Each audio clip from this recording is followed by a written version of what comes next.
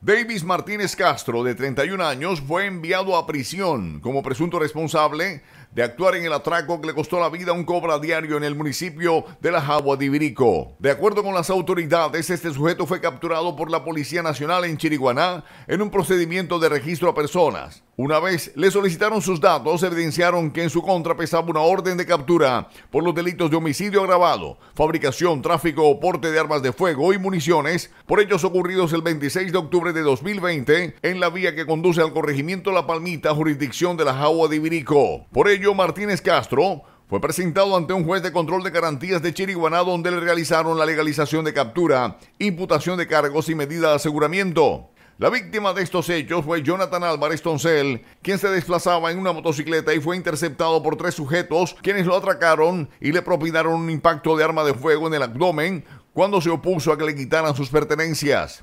Por este mismo caso, el día de los hechos fue aprehendido un menor de edad de 17 años, quien en interrogatorio confesó cómo actuaron para cometer el atraco en contra de Álvarez Toncel. Además del menor de edad, las autoridades también capturaron a Edward David Martínez Tres Palacios, de 18 años, quien también habría actuado en el asesinato.